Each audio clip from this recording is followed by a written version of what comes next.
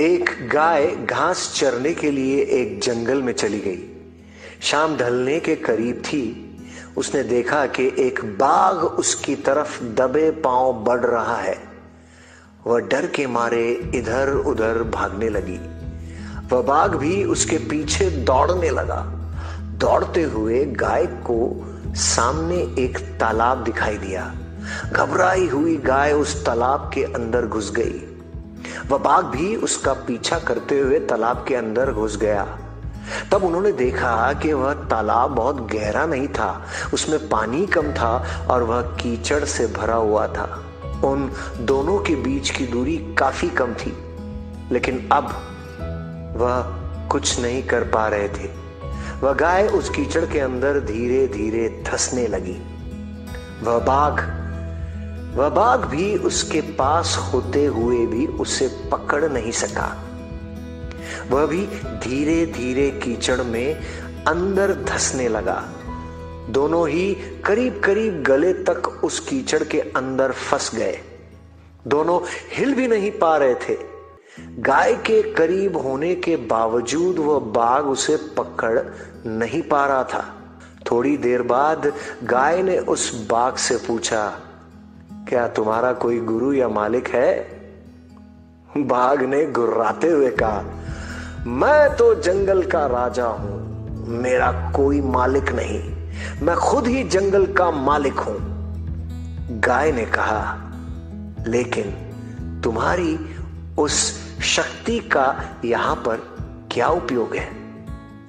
उस बाघ ने कहा, तुम भी तो फंस गई हो और मरने के करीब हो तुम्हारी भी तो हालत मेरे ही जैसी है। गाय ने मुस्कुराते हुए कहा, बिल्कुल नहीं। मेरा मालिक जब शाम को घर आएगा और मुझे वहाँ पर नहीं पाएगा तो वह ढूंढते हुए यहाँ ज़रूर आएगा और मुझे इस कीचड़ से निकाल कर अपने घर ले जाएगा। तुम्हें कौन ले जाएगा? थोड़ी देर में सच में ही एक आदमी वहाँ पर आया और गाय को कीचड़ से निकालकर अपने घर ले गया। जाते समय गाय और उसका मालिक दोनों एक दूसरे की तरफ़ कृतज्ञता पूर्वक देख रहे थे।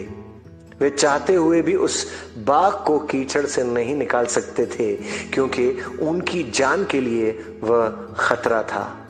गाय, इस कहानी में आइए समझते हैं कि ये चरित्र हमारे जीवन में क्या दर्शाते हैं?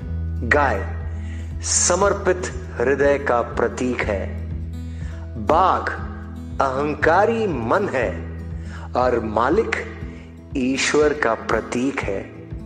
कीचड़, यह संसार है और यह संघर्ष अस्तित्व की लड़ाई है। किसी पर निर्भर नहीं होना अच्छी बात है, लेकिन मैं ही सब कुछ हूँ। मुझे किसी के सहयोग की आवश्यकता नहीं है। यही अहंकार है और यही से विनाश का बीजारोपण हो जाता है। ईश्वर से बड़ा इस दुनिया में सच्चा हितैषी कोई नहीं होता, क्योंकि वही अनेक रूपों में हमारी रक्षा करता है। उम्मीद करता हूँ कि इस सार को आप बड़े प्यार से, बड़े उदार से और समर्पित भावनाओं से लेंगे और इससे जो सीखेंगे, वो आपके जीवन को और सरल, सहज, सार्थक बनाएगा। धन्यवाद।